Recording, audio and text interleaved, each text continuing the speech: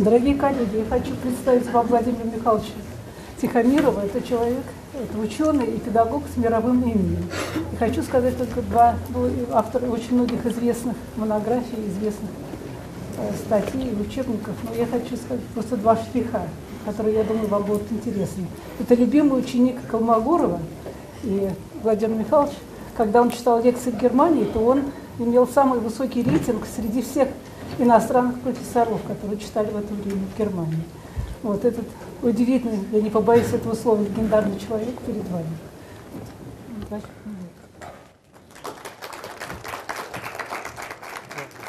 Большое спасибо за теплые слова. Но э, ко всему этому, конечно, нужно относиться с улыбкой. Я вспоминаю, как однажды действительно я представил мою жену такому ученику тоже, Колмогорова, Сирождинову. И потом, э, как однажды, мы, мы встретились в другой компании, и он решил представить мою жену своему другу и сказал, что это любимая жена профессора Тихомирова. Так что вообще э, наши. Большое спасибо за теплые слова. Воспринимайте их с улыбкой. Значит, доклад мой называется э, «Замыслы Колмогорова о школьном курсе геометрии». Но я хочу начать э, с того, что, собственно говоря, меня растили, воспитали два человека. Это дедушка и бабушка. Дедушка мой был учителем, а бабушка была бабушкой. И с той поры две профессии, к которым я отношусь с особой любовью. Это профессия учителя и профессия бабушки. И, значит, я очень благодарен возможности выступать перед представителями моей любимой профессии.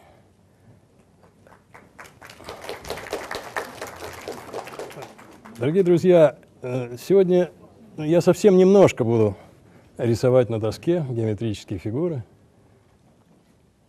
Я хочу поразмышлять вместе с вами. Может быть, с каким-то ответным словом, так сказать, когда-нибудь мы встретимся или через интернет пообщаемся. Я хочу обсудить несколько тем.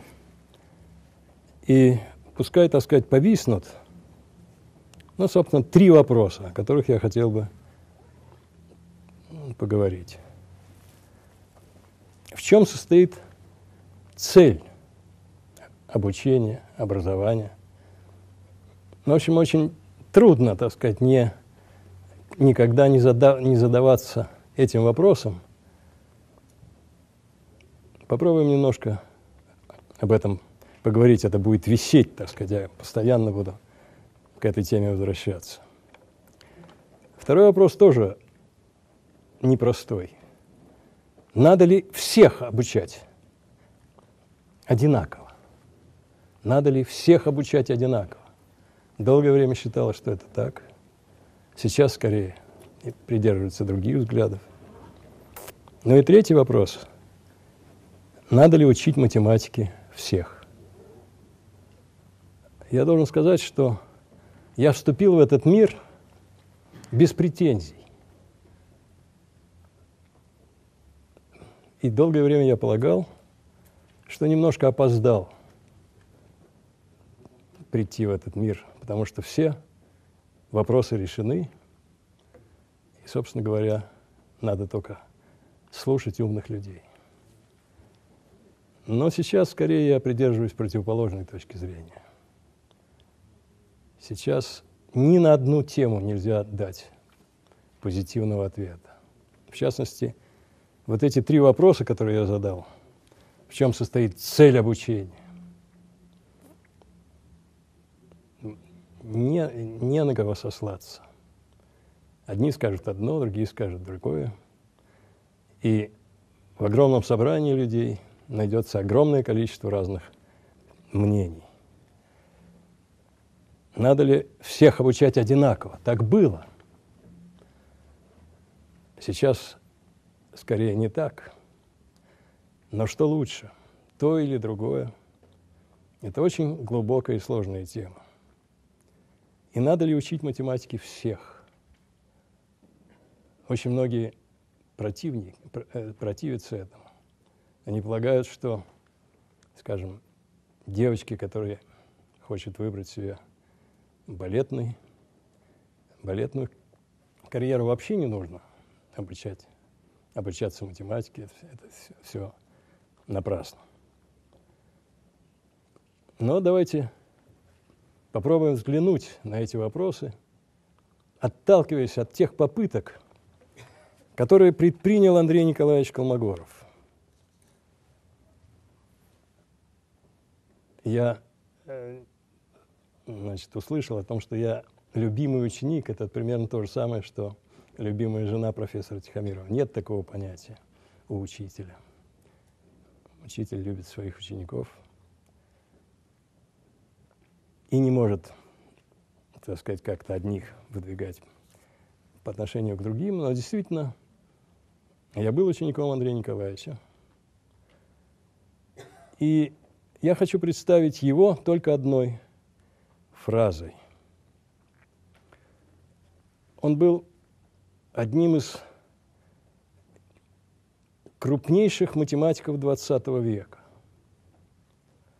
и, один из велич... и одним из величайших ученых, которые были нашими соотечественниками. Число таковых очень невелико, таких величайших. Заведомо Ломоносов, заведомо Менделеев – вот я назвал Колмогорова. А так, чтобы еще так назвать большое количество, это затруднительно. Но вот в начале 60-х годов Андрей Николаевич возглавил деятельность по реформированию математического образования. Это было особое время. Это было время расцвета у нас математики, естественных наук. Конкурсы на математические факультеты были огромными. Казалось, что юношество преисполнено творческих, творческим энтузиазмом. И вот под воздействием всего этого Андрей Николаевич поставил перед собой, как лидера реформы математического образования, неслыханно высокие цели. Я приведу только две цитаты. Вряд ли нужно доказывать, писал Андрей Николаевич, насколько желательно с общеобразовательной точки зрения достигнуть того, чтобы все учащиеся могли вполне конкретно понять хотя бы ньютоновскую концепцию математического естествознания. Все учащиеся могли бы понять ньютоновскую концепцию математического естествознания. Ну и второе высказывание, которое относилось, собственно говоря, к планируемому курсу геометрии.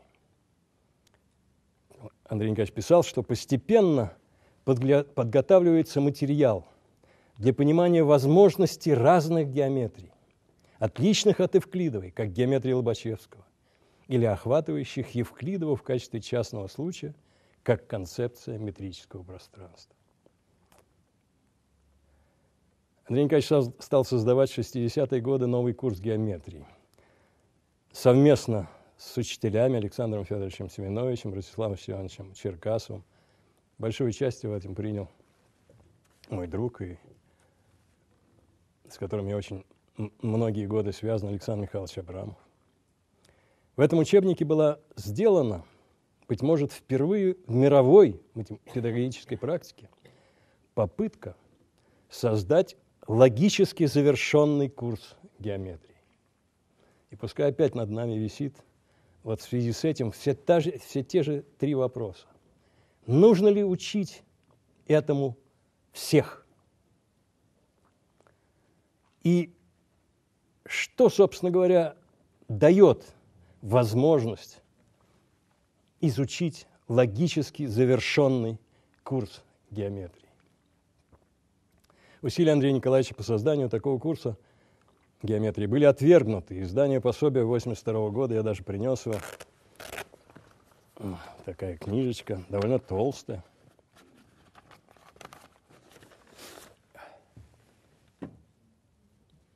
Довольно толстая книжка геометрии. Она издавалась с 79 по 82 год, вышло четыре издания. Но издание 82 года оказалось последним. Усилия Андрея Николаевича по созданию курса геометрии были отвергнуты. Времени на совершенствование курса не было, да и никто его не собирался ему предоставлять. В ту пору Андрей Николаевич был уже тяжело болен. Через пять лет его не стало.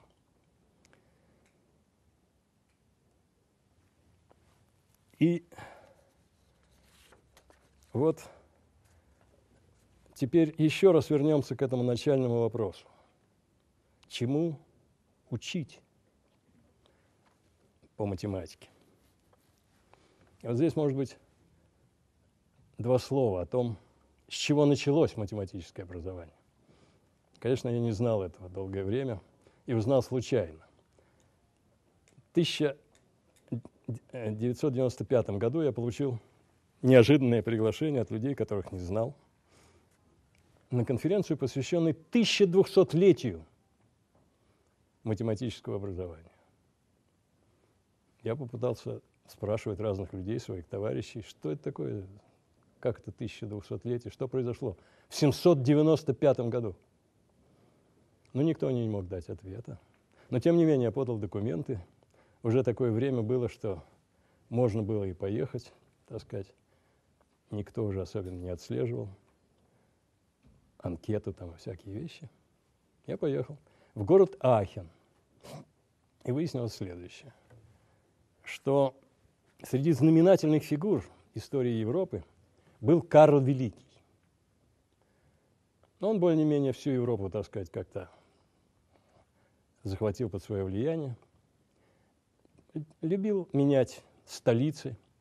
И вот он приехал в Ахен, маленький сейчас такой городишечки, совсем небольшой. Основал там столицу Европы, так сказать. И ему пришло в голову, или кто-то ему подсказал, что надо бы организовать школу, гимназию. И действительно, он ее организовал. Но как? Для этого нужны люди, как вы знаете. И он спросил вообще, кто, собственно говоря, может такую школу вести, по, ну, по математике, не знаю, как тогда он называл, по арифметике, может быть, или еще что-нибудь. В общем, и он нашел этого, такого человека, Алквин. Где-то он был монахом на территории нынешней Великобритании, где-то там. Алквин приехал и издал как раз в 795 году книжку под названием «Книга для изощрения ума». Не знаю, как это звучало на языках того времени, но русское слово замечательное. Книга для изощрения ума. Это был задачник, и под номером 18 там была такая задача, что нужно переправить козла, козу, капусту и волка. Ну, это абсолютно всем известная вещь. Она тысячи раз потом публиковалось разными людьми. И это действительно такой замечательный пример изощрения ума. И нет никакого сомнения, что математика очень важна именно для этой цели, для изощрения ума. Но у Андрея Николаевича эта цель, безусловно, присутствовала. Он всегда был таким организатором Олимпиад, в общем, и первой Олимпиады, в частности, и вообще всех, всех последующих, начиная с какого-то момента. Олимпиады как раз и служат тому, чтобы ум изощрялся. Но, как это видно из программы, которую он составлял, из тех двух цитат, которые я уже процитировал, что помимо изощрения ума, он видел перед математическим образованием и другие цели. Он их не сформулировал вот так прямо. И я несколько раз, когда его стали критиковать, Я несколько раз обращался к нему и говорил, Андрей Николаевич, многие не понимают таких целей вашей реформы. Расскажите их мне, а я попробую объяснить кому-то еще. Андрей Николаевич улыбался и говорил, Володя, время еще не пришло, ну и, как всегда бывает, каждый из вас знает это. Время не пришло никогда. И вот здесь я должен сказать вам, что я буду нечто высказывать, по, по каждому поводу буду высказывать свое мнение. Это и все. Я не настаиваю ни в коей мере на то, чтобы вы без раздумья, так сказать, со мной соглашались. Нету арбитров, нету мудрецов, которых нужно слушать безоговорочно. Каждый человек должен допустить в себе свободу, свободу мыслей. И вот это давайте с вами стараться проявлять. Андрей Николаевич, так, судя по всему, еще раз повторяю, что он явным образом это не сформулировал, ставил перед образованием, математическим в частности, еще две цели. Одну сейчас даже и сформулировать непросто. Эта цель была формирование мировоззрения. Слово-то какое? Мировоззрение. И в частности в том, что я начал э, с первой цитаты, формирование научного мировоззрения, существеннейшей компонентой которого была было ньютоновское воззрение на природу. И он считал обязательным это мировоззрение формировать э, любому учителю.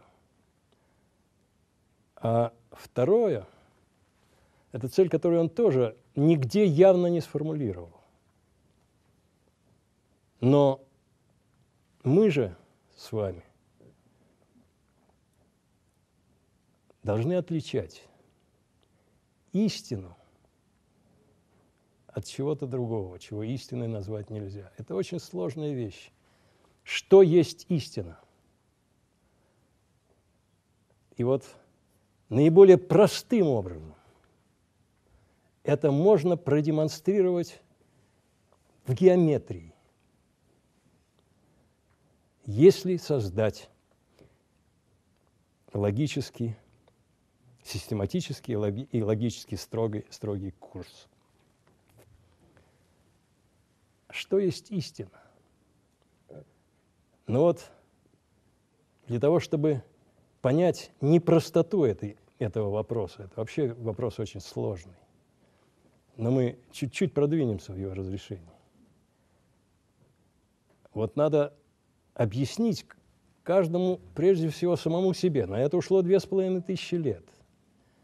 Что есть истина? Что сумма углов треугольника равна двум прямым? Или что любого треугольника равна одному и тому же числу, двум прямым? Или совершенно противоположное, что ни у одного треугольника сумма углов не равна двум прямым. Не может же быть так, чтобы и то было истиной, и это было истиной. Это же исключает друг, друг друга. И две с половиной тысячи лет люди полагали, что одно из этих утверждений ложно, а именно второе. А на самом деле истина, что сумма углов треугольника равна двум прямым. И вот один из классиков которым, которым я обучался, когда был мальчиком, Фридрих Энгельс. Он заявлял, что есть абсолютные истины. И среди этих абсолютных истин есть истина о том, что сумма углов треугольника равна двум прямым. И он произнес это ну, буквально через четыре года после того, как это перестало быть непременной истиной, а стало относительной истиной. И вот Андрей Николаевич хотел одарить каждого из нас начиная с детского времени. Тому, чтобы мы могли понимать, что это значит, а что это на самом деле значит. И Андрей Николаевич создал, по-моему, единственный в мире, это надо проверить, вот такой попытку построения, еще раз повторяю, логически стройного и систематического курса геометрии. Еще раз повторю, что это было отвергнуто. Я вижу две причины того, что попытка не удалась. Про одну я скажу коротко. Дело заключается в том, что сам, само планирование образования тогда осуществлялось государственным образом сверху. И в частности, тогда было предписано, и не будем ругать прошлое, будем думать над каждым событием. Было предписано, что все получают одинаковое образование. Тогда была борьба с, со специальными школами. Вообще это, сама эта идея была противопоказана. И Андрей Николаевич принял это, что образование должно быть одинаковым. Все должны его были получать. И он писал свой учебник для всех. И это была непременная аксиома. Но, честно говоря, сразу ясно, что она неосуществима. Потому что страна наша безгранична по размерам своим. У нас огромное количество проблем и экономических, и проблем с поколениями, которые, которые ну, не всегда все-таки было приспособлено к тому, чтобы усваивать науку. Многонациональная страна, очень разнородная и неблагоустроенная. Так что, в принципе, такая задача была неосуществима, это очевидным образом. Андрей Николаевич этого, разумеется, не знал. И вторая причина, мне, про нее мне хочется сказать чуть подробнее. Она связана с личностью Андрея Николаевича. Андрей Николаевич всю жизнь пребывал в мечтаниях о светлом будущем человечества. В этих мечтаниях он был идеалистом. Не в философском значении этого слова, а именно в том, что он видел людей, окружающую действительность, как бы сквозь особые волшебные очки, в несравненно лучшем свете, чем эти люди были в реальности. И для тех, кто был непосредственно связан для учеников, это, конечно, было замечательно – приносила прекрасные плоды, всем хотелось соответствовать тому идеальному образу, который складывался Андрей Николаевич. Все тянулись ввысь, росли. Но Андрей Николаевич наивно полагал, что весь мир населен примерно такими же людьми, что его окружали. Благородными, культурными, стремящимся к поиску истины. И планируя будущую программу средней школы, он исходил, как мне представляется, именно из такого идеального образа людей. И вот так, таким людям, конечно, нужно было каждому передать научный, строгий и современный курс геометрии. Но попробую чуть-чуть вникнуть в то, почему я так полагаю. Вот что Андрей Николаевич писал. В геометрии для шестого класса. Значит, для шестого класса Вы начинаете изучать систематический курс геометрии. С этого начинается курс шестого класса. А затем пишется. Систематический курс геометрии имеет такое логическое строение. Первое. Перечисляются основные принимаемые без определения понятия. Второе. При их помощи даются определения других геометрических понятий. Третье. Формулируются аксиомы. Четвертое. На основе аксиом и определений доказываются теоремы. Но, казалось бы, ну что тут такого? Но уже в этом маленьком фрагменте отражается взгляд автора на своего читателя, который я назвал идеалистическим. в 1938 году, ну, примерно за 30 лет до того, как он начал писать курс геометрии, сам Андрей Николаевич написал статью в успехах математических наук, где он более-менее в точности перечислил вот эти четыре, четыре понятия. И дальше он пишет, что очень часто люди не понимают вот того, из чего состоит научная теория. Значит, это он обращался к 500 примерно математикам высшей категории, которые могли читать журнал «Успехи математических наук». И как можно было предполагать, что через 30 лет, которые прошли через страшные годы, войны, все учительство сможет воспринять эти идеи настолько, чтобы потом пере, переучивать учеников. Вот э, этой идеологии. Причем это очень интересно, что в этой статье в «Успехах» он пишет, что сам Гильберт семь раз, переиздавая свою книгу, каждый раз, так сказать, усовершенствовал его, ликвидируя определенные пробелы в своем этом великом курсе. Вот если называть величайшие книги, которые вообще были в истории математики, конечно, их будет, может быть, 10. Ну, на первом месте, конечно, это математические начала натуральной философии Ньютона. Ну, собрание учебников Эйлера. Конечно, книжка Андрея Николаевича Киловогорова «Курс теории вероятности». И, конечно, книжка Гильберта основания геометрии.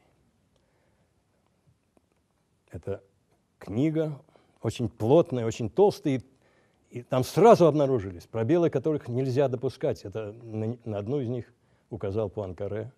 Потом Гильберт еще и еще и еще семь раз это усовершенствовал.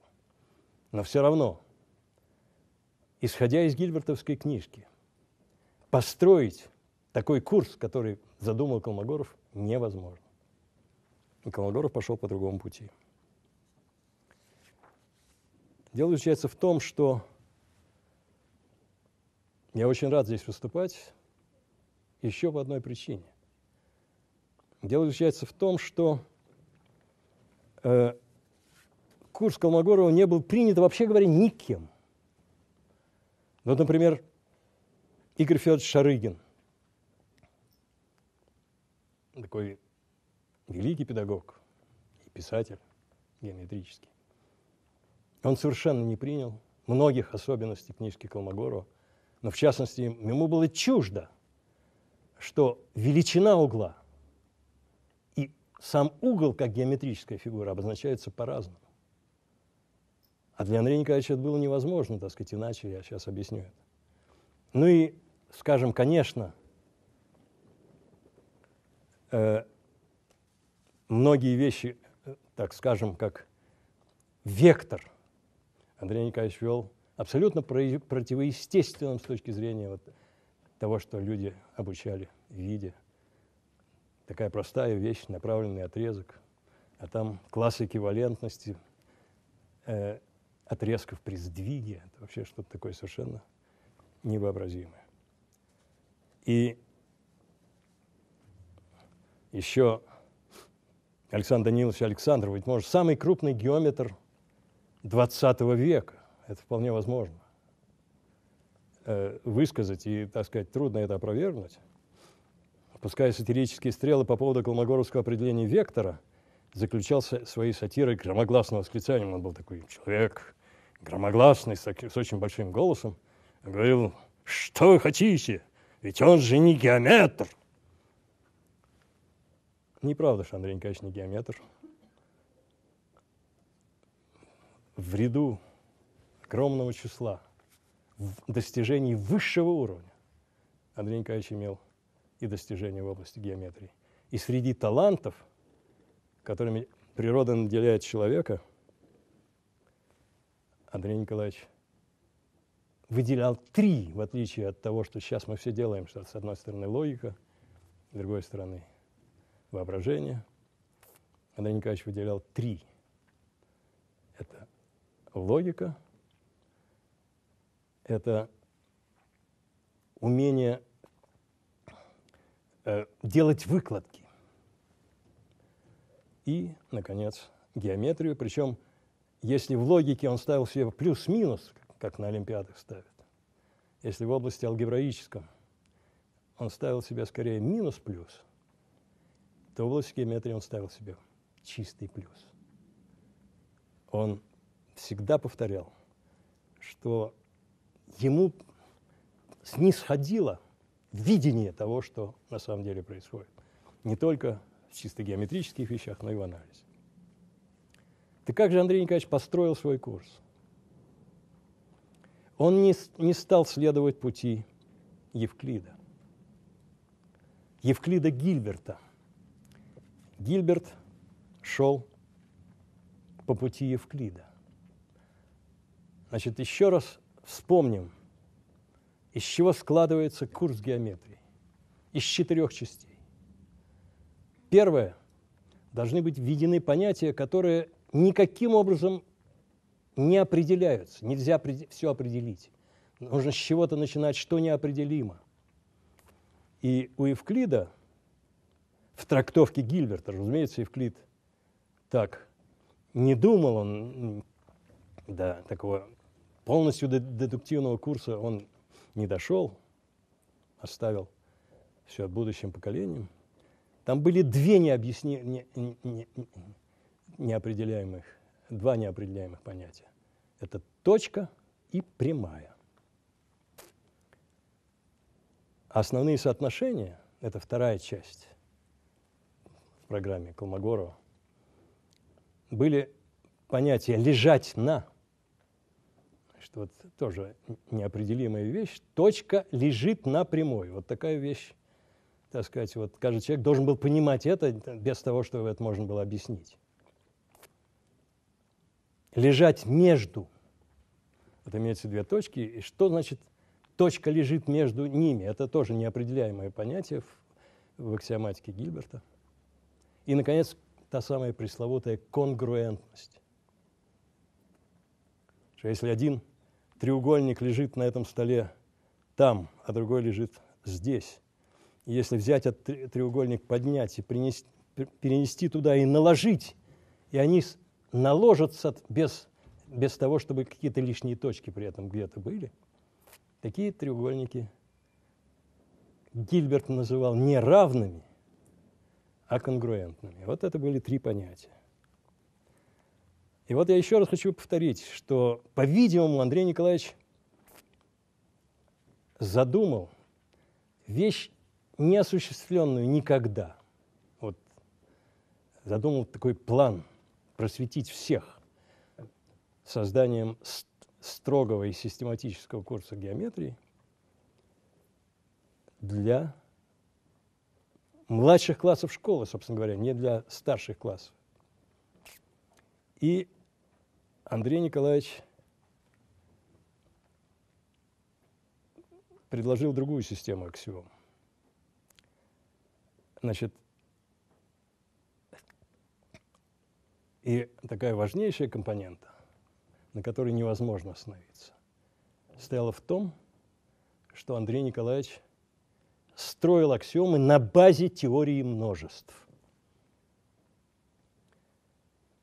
За 90 лет до того, как Колмогоров начал обдумывать свой курс, в 1878 году в воспаленном мозгу Георга Кантера, конечно, это был человек с таким живым мозгом, который привел к тому, что последние там чуть, чуть не 15 лет он провел психиатрической лечебнице. Но вот зародилась идея множество и теории множеств. И в течение нескольких десятилетий после вот первых работ Кантера вызревала идея дедуктивного построения всей математики на базе теории множеств.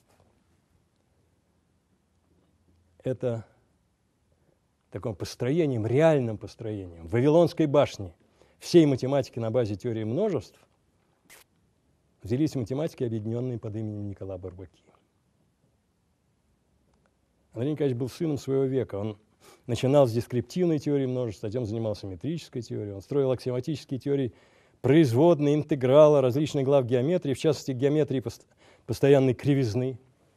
Он дал аксиоматику геометрии постоянной кривизны, не говоря уже о теории вероятности. Программа построения всей математики на базе теории множеств ему казалась осуществимой.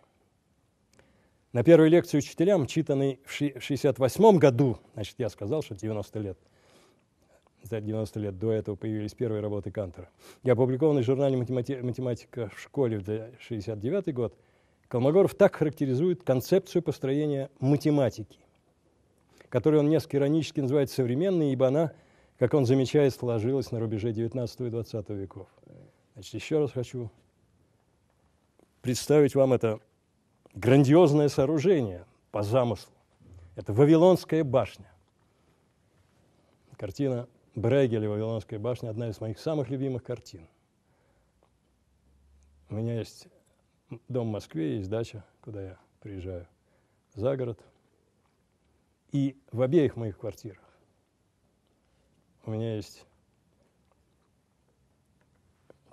картинка с Брегелевской Вавилонской башни сам замысел объединить все, создать такой язык и такую систему понятий, которая постепенно возвышаясь, охват, охватила бы всю математику, конечно, это Вавилонская башня. Конечно, можно было сразу сказать, что это не, невозможно. Но замысел, конечно, это фантастический. И не содрогнуться, так сказать, в от этого очень трудно.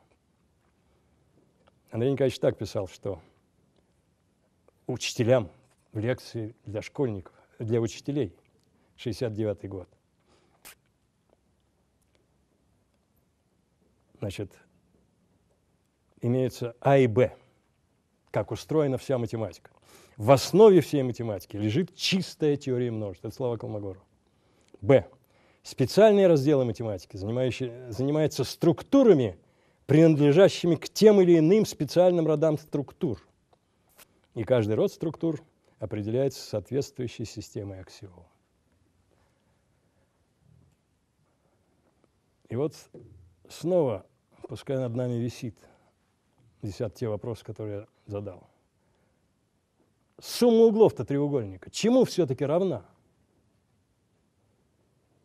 Двум d или ни в одном случае не равна двум d вот как вы представляете себе, что вы можете объяснить, что и то, и другое истина?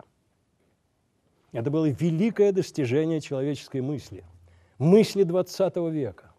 К ней постепенно подбирались все из XIX века, разные люди. Но мы гордимся тем, что среди этих разных фамилий есть фамилия нашего соотечественника, Николая Ивановича Лобачевского. Но смешно забывать, и Гаусса, и Баяи, и Бельтрами, и Келли, и Клейна.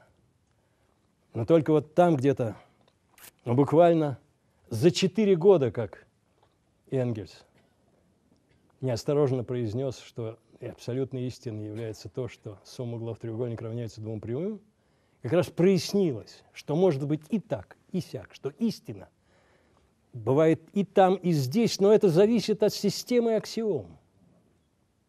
От системы аксиом. Можно построить систему аксиом так, что на последнем месте будет аксиома о параллельности. И если в одном случае сказать, что через одну точку вне, вне прямой проходит только одна не пересекающаяся с ней прямая, а если в качестве аксиома сказать, что существует не одна не пересекающаяся с ней прямая, то в первом случае сумма углов треугольника окажется равной двум прямым, а во втором случае ни, одно, ни одного треугольника не будет суммы двум, равной двум прямым. Николай Иванович этого не доказал. Он страдал от того, что он не может сам себя убедить в том, что он прав, что не будет противоречия. Вот он строит, строит, строит, строит, массу вещей настроил. Очень драматическая история, вообще, так сказать, вот создание неевклидовой геометрии. Полное безумного количества таких психологических взлетов и падений. Безумно жалко молодого человека Бояи, который вообще был офицером. Просто у него был отец, который писал книгу, и тот, ему, и тот в эту книгу включил страшно трудный текст геометрии, в которой тоже содержались зерна неевклидовой геометрии, и тоже, конечно, все-таки истина не была установлена. А вот Андрей Николаевич пожелал, и это тоже героический подвиг, иначе я не могу это сказать, несмотря на то, что все рухнуло – и вот я сейчас принес вам эту книжку специально для того, чтобы сказать вам о своем желании издать ее, но с некоторым кратким сопровождением, примерно тем же, что я сейчас делаю перед вами. Не будем возвращаться к этому курсу. Он нереален для целей, которые поставил перед собой Андрей Николаевич. Он сделан на бесконечно бесконечный вырост. Вот бывают такие задачи на вырост. Вот эта книжка написана на бесконечный вырост. Никогда не будет такого поколения, которое целиком захочет, вот, так сказать, как награду получить вот эту возможность интерпретировать как истинно два противоположных высказывания. в Колмогоровской аксиоматике три неопределяемых понятия. Точка, прямая и расстояние. Но при этом всюду над нами нависает, нависает теория множеств. Прямая есть собрание точек, есть объединение точек.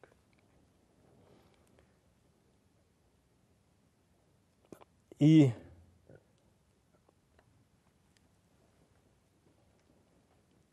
Поэтому, частности, Андрею Николаевичу было брошено, брошено очень много упреков, потому что, потому что э, бурбаки, которые воспринимались какое-то время как вершина математики, и к тому времени, когда Андрей Николаевич начал писать свой курс, они уже были свергнуты с этого пьедестала. Андрей Николаевич пишет, что в основе всей математики лежит чистая теория множеств. Это точности то, как пробовал Бурбаки построить всю математику, но в частности геометрию. Но именно в эти самые годы пришло извещение о смерти Бурбаки. Я вспоминаю заседание Московского математического общества – котором Юрий Иванович Манин, один из выдающихся представителей моего поколения, он учился на курс позже меня, с листа, такой еще к тому же необыкновенно гуманитарный человек, что он получил письмо от Бурбаки, ну, от, от, так сказать, от наследников Бурбаки якобы, и он так с листа, с французского, замечательным слогом Э, читал письмо, извещающее о смерти Бурбаки. Я помню, с каким удовольствием тогда на Московском математическом обществе все смеялись над этим замечательным событием. Бурбаки почил. И действительно, мое поколение, ну, среди представителей которого Владимир Игоревич Арнольд, может быть, на самом первом месте – Юрий Иванович Манин, Сергей Петрович Новиков, ну и большинство все, ну, более-менее все. Они стали на антибарбакистские позиции. И это стало одной из причин трагического одиночества, в котором оказался Андрей Николаевич. Когда пришло время, так сказать, отвергнуть Колмогоровский курс, то за него не заступился никто – и, к некоторому сожалению, и я. Потому что тот момент я не понял, что, собственно говоря, Андрей Николаевич хотел. Так вот, Андрей Николаевич построил это, с одной стороны, на базе теории множеств. У него прямая – это набор точек, объединение точек. Треугольник – это объединение точек. Угол – это объединение точек. А с другой стороны, он использовал еще одну фундаментальнейшую идею, которая тоже родилась примерно в то же самое время и примерно по тем же причинам, по которым родилась неевклидова геометрия. В 1932, 1900, 1872 году произошло такое тоже великое событие в истории науки, истории математики. С некой эрлангенской программой выступил Феликс Клей. Это замечательная традиция немецких университетов, которая, вообще говоря, не, я не знаю больше, где она, где она происходит, а в Германии, ну тоже не во всех университетах, там очень почетное звание профессора, профессор университета. Это очень почетное звание. Но просто действительно профессоров в Германии очень мало – и для того, чтобы там многие люди, и, и очень крупные, сейчас это тоже отдельная история, там ждали этого профессора иногда 20, иногда больше, больше лет, несмотря на то, что очевидно, очевидное было у них такое достоинство профессорское. Но одна из традиций действительно тоже замечательная. Если человек избирается, то он читает такую публичную лекцию где он описывает программу своего научного творчества. Многие сохранились, и у нас перепечатано тоже, тоже несколько. Но одна лекция так и осталась. Навсегда, и все, все более-менее ее всегда поминают. Это эрлангенская программа Клейна. Какое она имеет отношение к нам с вами? Очень простое. Вдруг геометрии стали плодиться. Ну вот была геометрия Евклида. Потом до этого еще появилась проективная геометрия. Ну где-то в те же самые времена появилась афинная геометрия, которую, так сказать, описал Клейн, э, описал Эйлер. Проективная геометрия в разных местах появилась, тоже в Германии, Декарт там сейчас, э, э, э, Дюрер, в частности, тоже, так сказать, нечто на эту тему высказывался. Проективная геометрия так родилась все-таки в XIX веке, как такая часть науки, и там выдающуюся роль сыграли как и Клейн. И вроде бы одна геометрия, другая геометрия, там третья геометрия, четвертая геометрия. И Клейн в своей программе, 23-летний, между прочим, совсем молодой человек – родился в 69 году, ему было 23 года в 72 году. Вот он объявил, что есть геометрия. В одной фразе, как всегда, все истинное формулируется как тривиальное. Геометрия есть наука, изучающая инварианты в однородном пространстве. Вот такая фраза. А что такое однородное пространство? Это, так сказать, в двумерном случае это некая поверхность, на которой действует группа преобразований. Группа преобразований. Ну вот, у нас с вами вот эта поверхность гладкого стола. И вот на этом столе лежит прямоугольник. Я могу его провести вот так вот. И это будет разные фигуры. Если треугольник лежит здесь, я его сюда перенес, сюда и здесь нарисовал, то это будут разные с точки зрения теории множеств прямоугольники. Но я из одного в другой могу воображаемым образом привести таким образом, что я эту всю плоскость, бесконечную, безграничную, буду двигать как единое целое. И так я проеду, проеду, проеду и совмещу один прямоугольник с другим, скажем. Вот этот лист и этот. Ну вот, скажем, если они лежат так, то мне нужно двигаться параллельно, и потом вот этот, при этом вот этот лист так сюда пойдет, пойдет, и, наконец, накроет тот. Вот если имеется некоторая поверхность в двумерном случае, и имеется группа преобразований, таких, что из одной точки в любую другую можно, а, может быть э, переведено и, обра- имеет преобразование тоже и обратимое.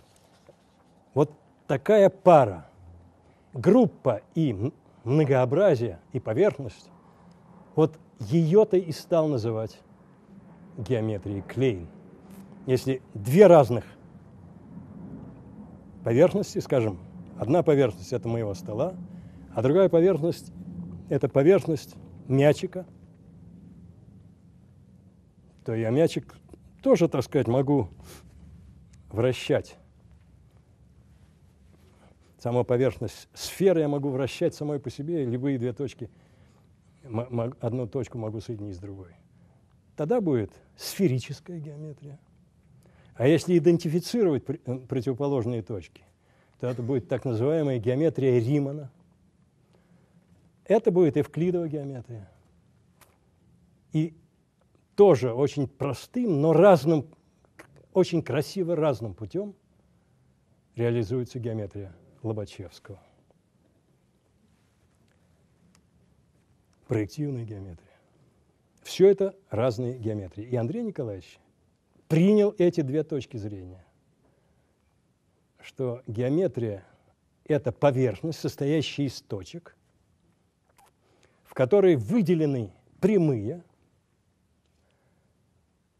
и вот эти самые движения, которые позволяют,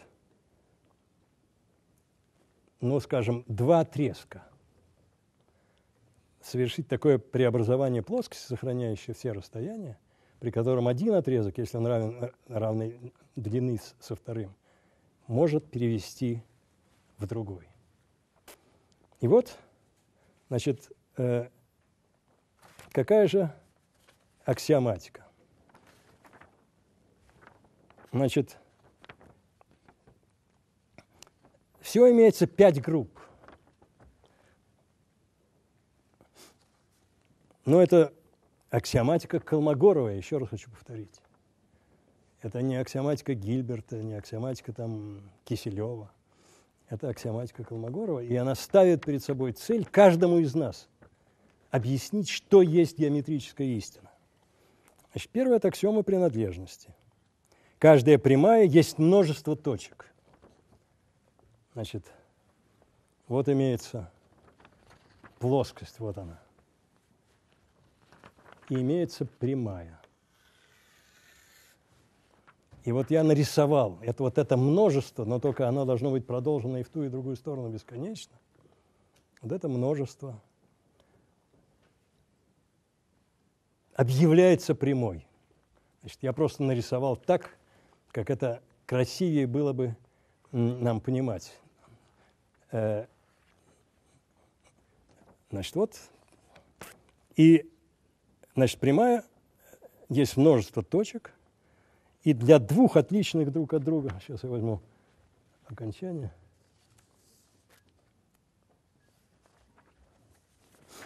для двух отличных друг от друга точек существует единственная соединяющая их прямая.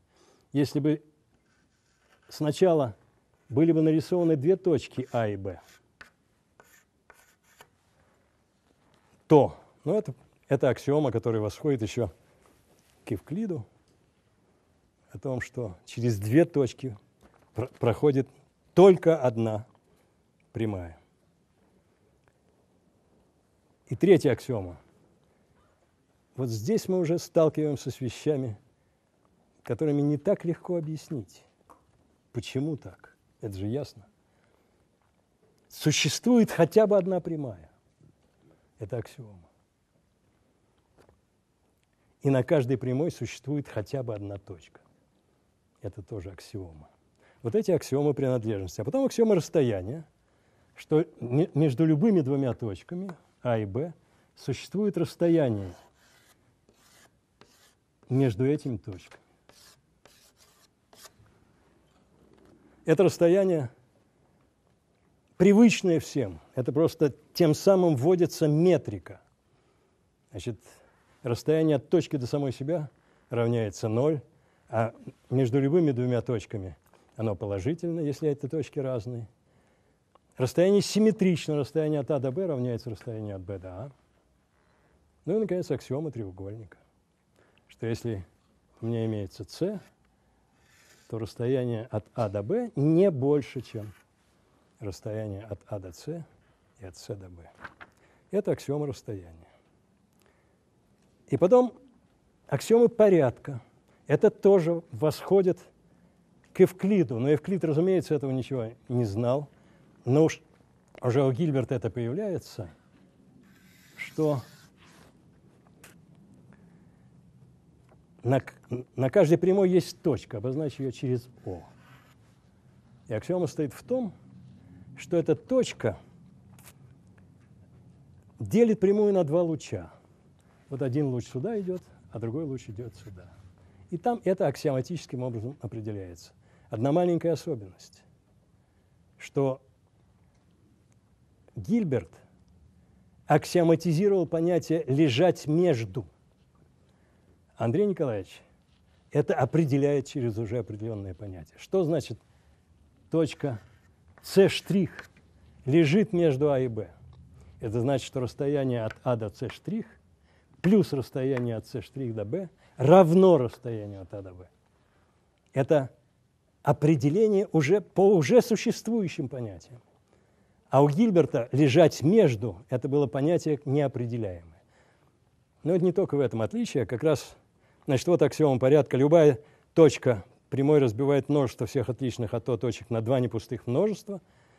Так что если А1 и А2 принадлежат разным множествам, то точка О лежит между ними. А если они принадлежат одному и тому же множеству, то точка О лежит между одним и то одной, одной из этих, одна из этих точек лежит между О и другой. Вот это аксиомы порядка. И, наконец, тоже важнейшая вещь, которая очень наглядна и ясна, что на каждой прямой можно измерить числом расстояние от этой точки до другой. Что для любого числа А найдется такая точка А – что расстояние от О до А равняется А маленькому. Это аксиома. Значит, прямая заполняется вещественными числами. Но сама по себе теория вещественных чисел, конечно, это за пределами школы. И поэтому здесь было много неудобств. В частности, Андрей Николаевич каялся в том, что понятие величина угла удалось ему, так сказать, вот так хорошо и быстро объяснить. Это сложное понятие. Что значит величина угла? Вот угол – это множество между двумя лучами. Вот все, что здесь лежит. А что значит его величина? Вот она измеряется числами от нуля до пи. Это сложное понятие. Андрей Николаевич как раз собирался над этим еще работать, но потому что это не очень ему удалось в этом первоначальном варианте. Ну и, наконец, ну и, наконец, Клейн. Аксиома подвижности. Ну, если дана прямая, то из аксиоматики там вытекало, что она делит всю плоскость на две части. Я взял на этой прямой точку О. И один только луч, а второй как бы я стер эти, э, стер этот второй, второй луч, и у меня получилась полуплоскость без одного луча. Вот такое геометрическое множество. Если у меня даны две таких, О штрих, полуплоскость, и здесь полуплоскость, то существует единственное движение, которое О' переведет в О. Вот этот луч О', А' переведет в луч ОА, и всю вот эту полуплоскость без луча переведет в этот луч. Значит, это вот и есть как раз, что я беру эту плоскость как единое целое и начинаю ее вести отсюда сюда. Это очень наглядно и, в принципе, доступно всем. Но, конечно, это другой мир. Это другой мир. И сначала давайте разберемся с основной темой, с основной целью, которую Андрей Николаевич перед собой ставил.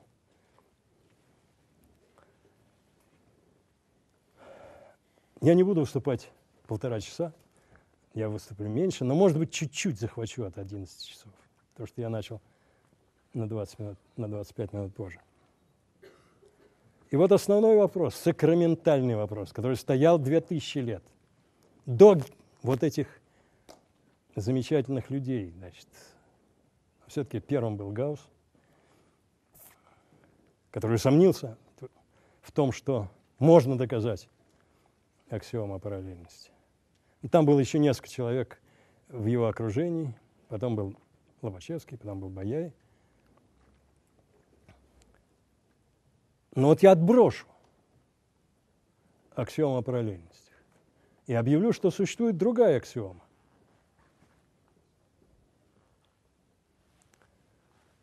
Что через точку вне прямой,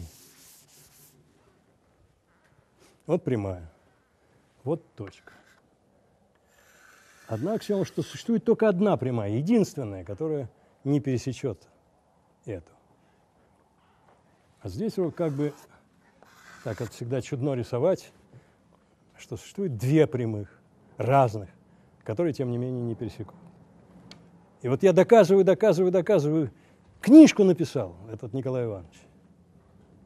Я почти себя уверил, потому что как он себя уверил, что там произошло? Он в этой новой своей геометрии построил теорему косинусов. Он выразил одну сторону через две других и угол между ними. Написал в виде формулы. И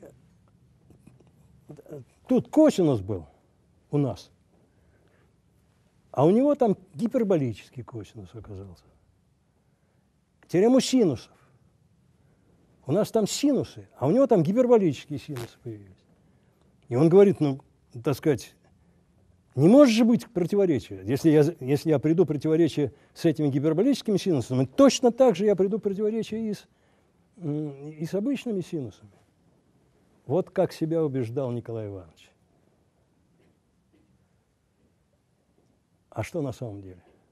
Как Колмогоров собирался доказать каждому из нас непротиворечивость геометрии, что нельзя прийти к противоречию в эвклидовом случае и аналогичным образом в геометрии Лобачевского. А здесь существовала такая великая идея, которая, вообще говоря, принадлежит Декарту, что геометрию можно интерпретировать числами. Интерпретировать числами. Ну, каждый из нас знает, что Декарт провел перпендикулярные оси. Вот, так сказать, и в воображении как угодно их можно нарисовать. Тогда каждая точка – изобразится парой чисел. Расстояние между этими точками изобразится э, теоремой Пифагора. Ну и более-менее, так сказать, э, можно описать, что такое треугольник, что такое полупростра... Э, полуплоскость. Ну и более-менее, так сказать, любую геометрическую задачу можно изобразить в виде чисел и решать потом числовые, числовые задачи. А что же делать с аксиоматической теорией? Значит, как доказать ее непротиворечивость? И вот это как раз и придумали вот эти последователи Лобачевского. С одной стороны Клейн, Келли, Бельтрами, и с другой стороны Пуанкаре.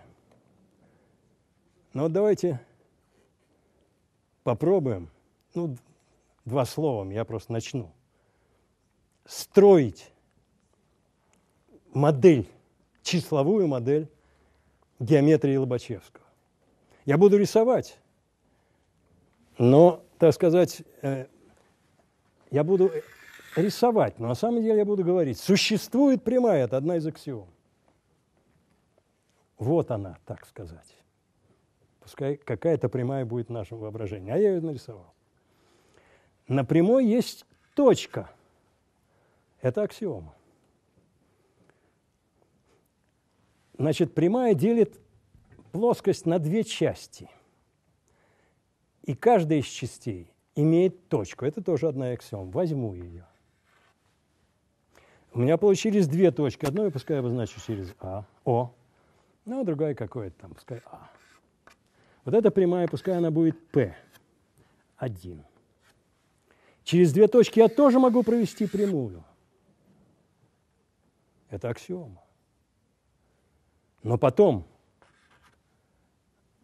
на каждой прямой я могу выбрать точку, которая находится на любом расстоянии, и это соотношение взаимно однозначно. Любой точке прямой соответствует число, и любому числу соответствует точка этой прямой. Но пускай, значит, вот я возьму такую точку, обозначу ее x1. И здесь возьму другую точку, вот А. Пускай она будет x2. Я получил, из аксиомы вытекает, что любую точку моей плоскости я могу провести здесь параллельные прямые и получу два числа. И наоборот, любым двум числам я получу точку плоскости. Я смоделировал, я смоделировал мою Колмогоровскую, умственную, где не было ни, ничего, так сказать, вот аксиомы и все. А я уже здесь все, на этой доске я уже все изобразил. Ну и, конечно, я введу расстояние и углы так, чтобы это было бы, ну, так сказать, я здесь так косо нарисовал. На самом деле я мог бы вот так вот красиво нарисовать, и тогда получилась бы Декартова модель наш, нашей, э, нашей Колмогоровской плоскости. Но здесь тоже я вот объявлю это 90 градусов. Это тоже 90 градусов, это 90 градусов, это 90 градусов. Значит, просто объявлю, что вот это, значит, вот это равно 90 градусам. И тогда по естественному построению я построю, построю э, научусь считать любые углы, исходящие из начала координат. Ну, для воображения проще всего это сделать так. Значит, после этого я веду расстояние, как корень квадратный из, от начала x1 квадрат плюс x2 квадрат. И движение. Значит, вот это то, что там Андрей Николаевич воображал. Значит, если у меня имеется какая-то прямая, а что такое прямая здесь? Это, это некоторые линейные выражения. АХ1, А1, х1 плюс А2, х2, ну, скажем, плюс b или минус b равняется нулю. Вот любое такое выражение, где эти числа с точностью до неравного нулю множителя. Вот это выражение с точностью до неравного нулю множителя выражают прямую. Совокупность прямых, которые у Андрея Николаевича аксиоматизируются, не описывается, а здесь, наоборот, они описываются уравнением. И проверяется после этого, что все аксиомы колмогоровские, это очень тривиально все делается, все аксиомы треугольника аксиомы реализуются как теоремы. Что через две точки можно провести единственную такую прямую.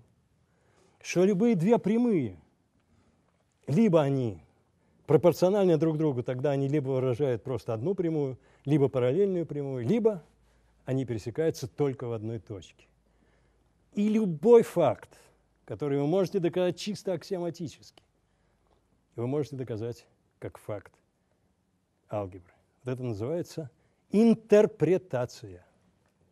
И отсюда вытекает, что мы не можем прийти к противоречию, что Евклид при, прийти к противоречию не мог. Потому что если бы какое-то противоречие у него там возникло, мы бы это все перевели сюда, и было бы противоречие в арифметике.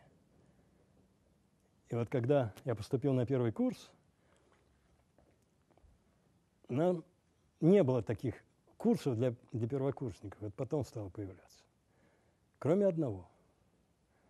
Такой замечательный математик Борис Николаевич Долане объявил курс геометрии Лобачевского. И на, и на, эту, на этот курс пришла, пришел весь факультет. Ну, весь мой курс. Забилась самая большая аудитория. Потом на следующей лекции пришла половина. На следующей лекции пришла четверть. Но я еще продолжал ходить, хотя мало чего понимал. Потом на одной из лекций пришло человек семь. Но не, лектор не пришел. На этом все кончилось. Но сама, сама идея интерпретации Борис Николаевич успел сказать, что нельзя сказать, что геометрия Евклида или Лобачевского не противоречивы. Они не противоречивы в том смысле, что не противоречива наша с вами арифметика. А это А это, как говорится, не очень-то доказано. Ну и все, друзья мои, я хочу теперь только еще раз подытожить и рассказать чуть-чуть о тех вопросах, которые я вам задавал. Ну вот первый вопрос. Ну давайте начнем с последнего. Нужна ли математика всем? геометрия в частности. Ну, можно подойти. В общем, еще раз хочу сказать, что позитивного, однозначного ответа нет. Все разойдутся, если будут это обсуждать. Одни скажут, конечно, нужна, потому что и приведут огромное количество аргументов, что без понимания математики вообще нельзя понять, что хоть по, каким-то образом похоже на истину. Само понятие истины все-таки оно опирается в то, что истина должна быть подтверждена чем-то. Ну, например, конечно, все мы знали, что истиной является то, что электрон также без, как там, неисчерпаем, как и атом. Что это такое за высказывание? Это истина или нет? Не будем так особенно посмеиваться над человеком, который это высказал. Но если мы понимаем математическую суть, то мы должны понимать, что истина должна иметь подтверждение. А эта истина, к некоторому сожалению, пока не подтверждается. Ну или что? Все дороги ведут к коммунизму. Это тоже была истина. Я высказал Вячеслав Михайлович Молотов в 1948 году. Я был свидетелем там. И, конечно, считалось, что это истина. Все это учили в школе, в университете. Но чудо математического знания состоит в том, что человек обретает свободу. Можно его заставить твердить, что это истина, это истина, это истина. Но заставить его думать о том, что что-то истина, если этому нет подтверждений, невозможно. Поэтому это величайшее, так сказать, благо интеллектуальной свободы – вот это благо, которое дает математика, в принципе, может дать ее всем. Но, тем не менее, сам принцип свободы не позволяет насиловать человека. Если он вдруг в каком-то возрасте, когда он, когда он может считаться сознательным, скажет, что мне это не нужно, это, к сожалению, нужно уважать. Очень многие люди говорят, что мне это не нужно, потому что я к этому не способен. И я всегда люблю встречаться с людьми, которые так вот высказываются. Обычно это все-таки достаточно уважаемые и, и серьезные, интересные люди. Например, Рост, Юрий Рост, такой всем известный фотограф, журналист. Где-то он сказал, ну, какой дряни нас учили в школе, которая никому не нужна, ни для любви, ни для чего такого. Вот. Я встретился как-то с ним, напомнил ему это высказывание. Вот. И сказал, что неужели вы можете признаться в том, что такие простые вещи, которые составляют математику, более-менее всю, что вы не способны на это. Он не признался.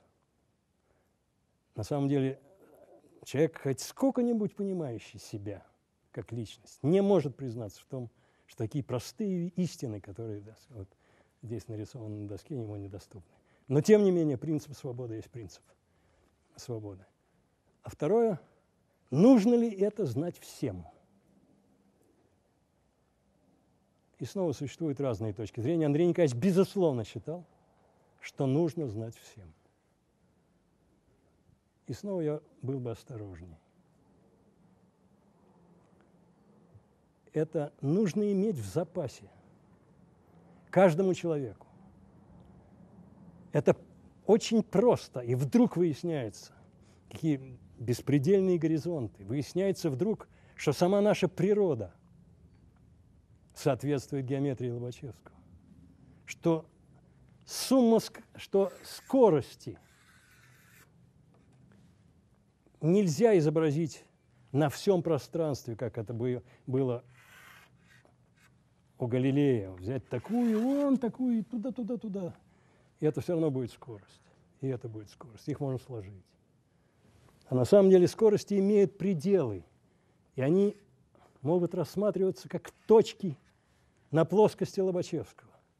И при этом суммирование абсолютно однозначно естественное. Есть суммирование, которое нашел Эйнштейн. То есть, вообще говоря, мир устроен скорее по Лобачевскому, чем, чем по Евклиду. И каждый человек может обрести это удовольствие, если он вникнет в то, что старался нам всем рассказать Андрей Николаевич.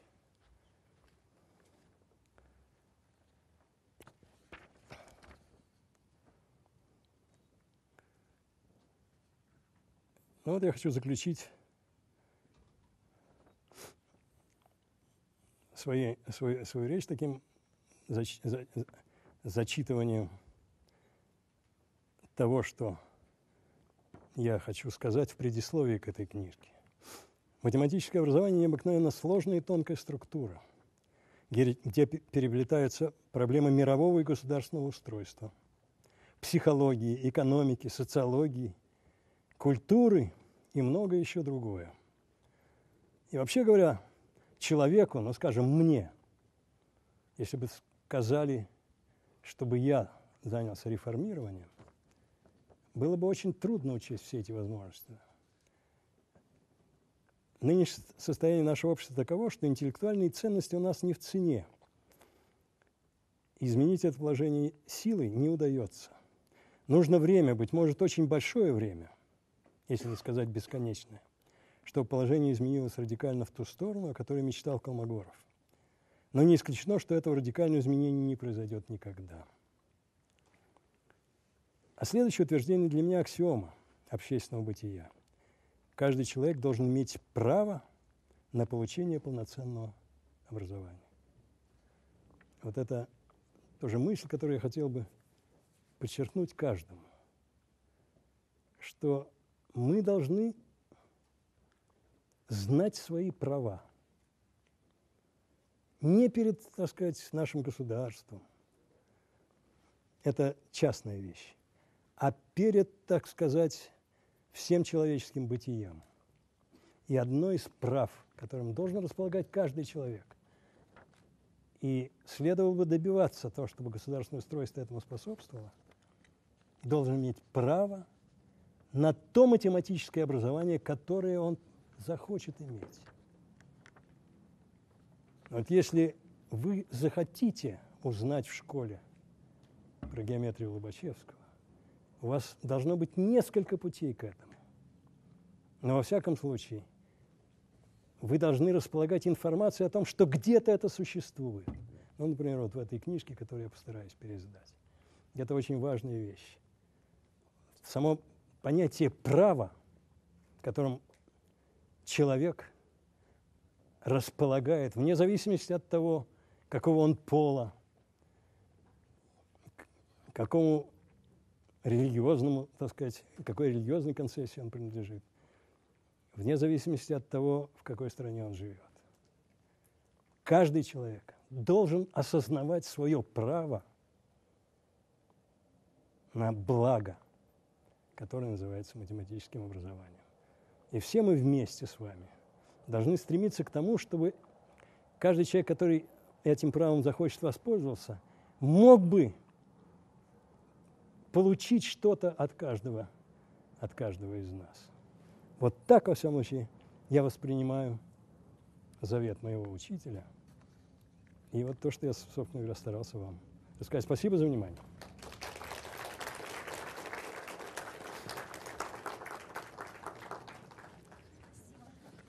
Ну вот нельзя ли услышать ваше личное мнение по первым двум, потому что по первому, по третьему, в общем, в докладе прозвучало более-менее ясно. Коротко, можно цели э, обучения в этом Ну вот я бы считал, Маборову, или у вас свое мнение? И второе, нужно ли всех обучать одинаково? На первый вопрос я, безусловно, считаю, что нужно учитывать эту двойственность математического образования. То есть, безусловно, математическое образование имеет прагматическую ценность. И это, конечно, на каком-то очень низком уровне, там, до четвертого класса или до чего, все-таки нужно заставлять, нарушать принцип свободы и каждого заставлять там складывать одно третье, одно второе. Я помню, как мать, преподаватель математики, соседка моя, попросила поговорить с сыном, который был неуправляем. Ну, поговорите с ним, что он знает вообще, так сказать, скажите потом мне. Он пришел. Я говорю, сколько будет одна вторая и одна треть сложить? Он сказал замечательную фразу, которую я очень люблю повторять. Он сказал, не имею представления. Вот на каком-то уровне нужно все-таки добиваться того, чтобы все освоили какой-то совсем небольшой минимум математических знаний. После этого пускай будет принцип свободы. Но человек должен иметь право на исправление своей ошибки. Скажем, если девочка предполагала стать балериной и перестала учить математику, а потом на каком-то довольно раннем этапе. Но она чувствовала, что она вообще в математике, так сказать, может разобраться. Но просто перестала, потому что там надо все время танцевать. А вдруг она как-то чем-то заболела или потолстела как, каким-то образом, который нельзя сразу исправить. Она должна иметь право на восстановление образования. Это, безусловно, необходимо учитывать. И на любом уровне, если человек по какому-то отстал, а потом вздумал это переделать, то надо дать, идти, идти к нему навстречу. Вот. Это значит по поводу того, нужно ли чему-то учить всех, а чему-то учить выборочно. И вот для выборочных целей существует вот одна вещь, которую очень поддерживал Андрей Николаевич. Потому что он не имел возможности, так сказать, организовывать спецшколы. Только перед самой, так сказать, вот уже, уже его, так сказать, э, на последнем этапе его жизни. Ему удалось создать свой интернат.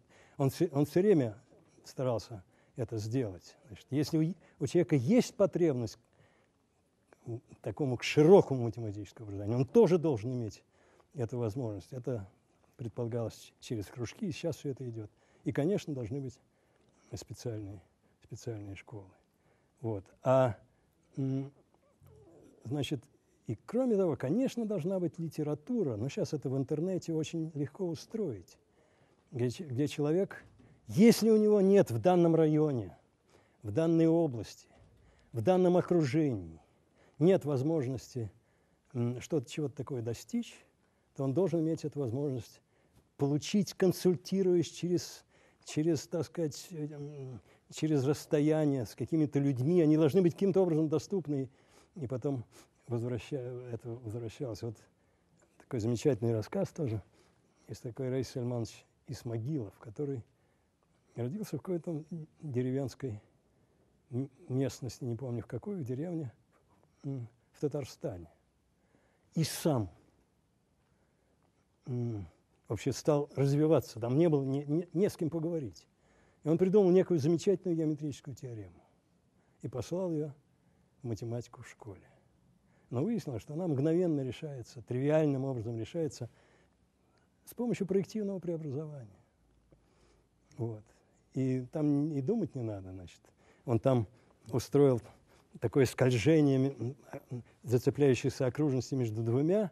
Потом выяснилось, что все это можно свести к двум концентрическим, где вопрос тривиальный. Тогда он получил такое довольно оскорбительное на этот счет послание. Но он говорит, что то счастье, которое довелось ему испытать, когда после многих часов усилий он вдруг окончательным образом доказал, что нечто замкнется.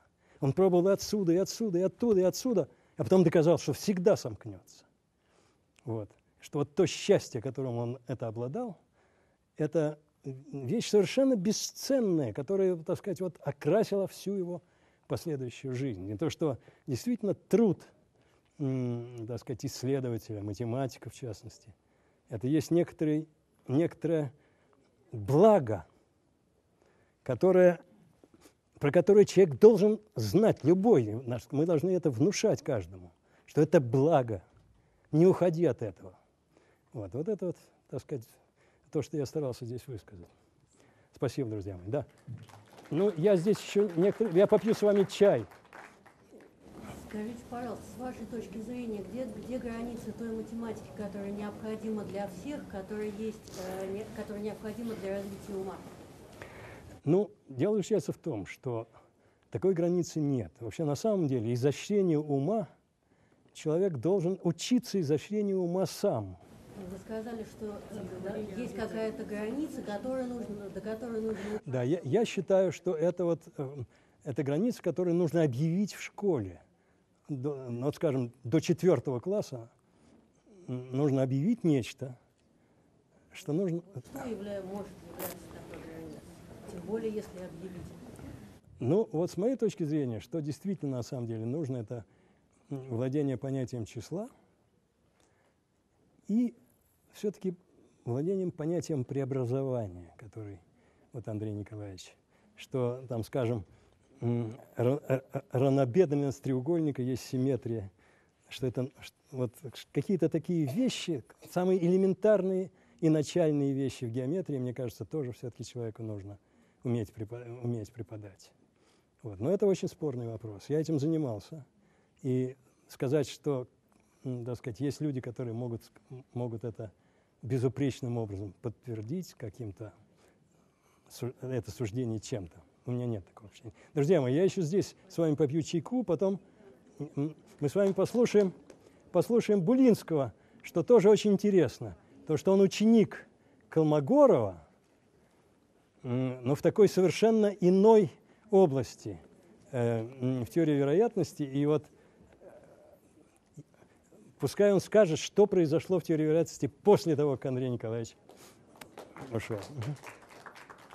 Спасибо, друзья.